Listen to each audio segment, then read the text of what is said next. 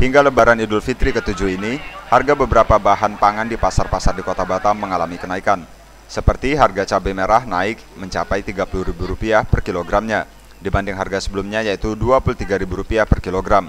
Berbeda dengan cabai hijau maupun rawit yang masih dijual dengan harga biasa, yaitu Rp35.000 per kilogram.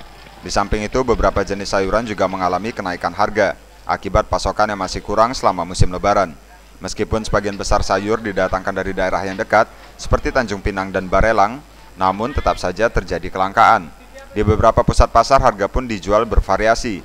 Namun di pusat pasar yang paling ramai di Batam yaitu Pasar Samarinda Seijodo, harga-harga masih terbilang murah meskipun mengalami kenaikan. Silaban salah seorang pedagang cabai mengatakan, sejak hari ini harga cabai merah naik bervariasi hingga mencapai berkisar Rp7.000. Ia menjual per kilogramnya seharga Rp30.000. Padahal kemarin masih menjual seharga Rp23.000.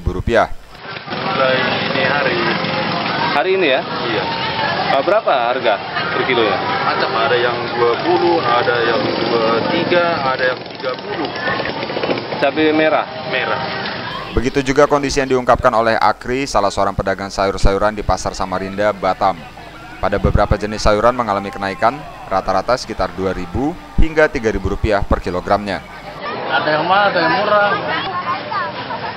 Mungkin gara-gara lebaran juga. Sayur apa aja yang naik bang?